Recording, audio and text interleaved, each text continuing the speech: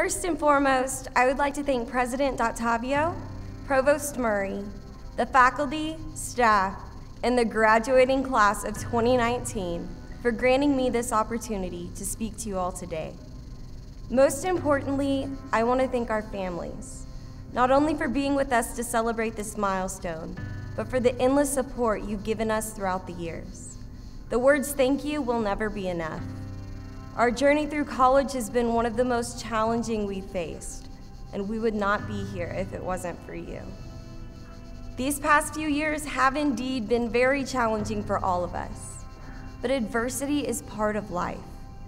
It presents itself in all shapes and sizes, and it is something that every person in this room has experienced.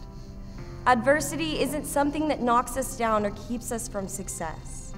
It's a gift that shapes us into the people we have become and the people we will become. College has many adversities, from the seemingly endless assignments and late nights spent studying for exams, to the early mornings after beating the drum at 3 a.m. for homecoming, to the sometimes nightmare we called parking, and finding the grit and stamina to manage all of these things while dealing with the sucker punches that life sometimes likes to throw our way. All of those adversities shaped us into who we are. Yet, here we are, despite those adversities, getting ready to walk the stage and receive our college diplomas. Congratulations. My greatest adversity in life thus far came in the form of cancer when I was 17. It was spring of my senior year in high school. I was very active in school and extracurricular activities, and I was happy.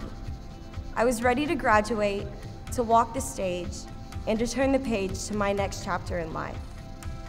But cancer doesn't take you, your plans, or your feelings into account. It comes into your life like a wrecking ball, equipped to crush dreams and hopes. Sorry, Cancer, but you did not succeed.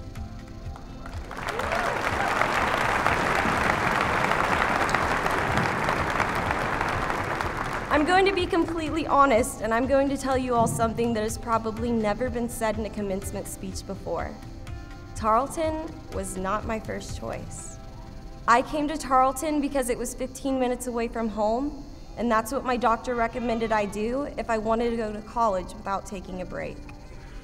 Let me just take a minute to thank cancer for helping me make the best decision that I have ever made in my life. All of us here at Tarleton are a family. We have each other's backs and we take care of our own. We have an undying sense of loyalty to this campus, its traditions, and our core values. When I made the decision to become a Tarleton Texan, I inherited the best support system I could have ever asked for. I also know that the gates are always open and that this is a support system that I will never lose. I have met so many incredible people during my time at Tarleton, as I'm sure we all have. I was blessed with incredible professors and mentors, fellow students, and an extensive family of people I will never meet but whom I know will always support me. From the day I lit my candle at convocation, I knew that I was a part of the Tarleton family and nothing could ever change that. My illness, this adversity, shaped me into a person I am proud to be today. It made me a Tarleton Texan, and it brought me home. Because of it, I was able to study at a school where our core values are integrated into every part of our collegiate experience, and I was able to experience some of the best traditions in Texas. I made friends that will last a lifetime, and I learned things from my professors that I will carry with me for the rest of my life. So once again, Thank you, Cancer. After today, we're all going to part ways. Those of us graduating from the College of Agriculture and Environmental Sciences will go on to feed America, to be ag educators, or to conserve our natural resources. Those graduating from the College of Education have been cultivated to serve others selflessly in a variety of socially significant careers. Some of us will continue our education, either here or at another institution. But no matter where life takes us, Tarleton will always be a beacon of light, our own purple lighthouse to guide us back whenever we need it. Class of 2019, I encourage you to follow your dreams. Embrace adversity. Carry our core values with you every day and show this world why we are so proud to be Tarleton Texans. As our color song proudly states, all hail the proud defenders of the purple and the white. Thank you.